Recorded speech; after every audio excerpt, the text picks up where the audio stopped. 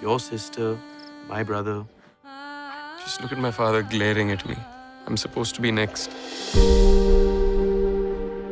The key to a good marriage is to find a man who will give you the space to grow. You too will marry a boy I choose. Tell me more about yourself. What is there to tell? Everything. Brazen girl. What would your mother say? India is a free country now. It's trying to find a different way to live.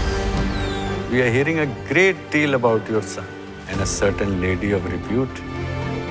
I'm so much older than you. You are the most beautiful woman I've ever seen. We'll find you a nice, suitable girl from a good family. Have you no shame at all? You shouldn't get too deeply involved. You know Lata? Yes, I hope to marry her. But I don't agree that we are controlled by fate.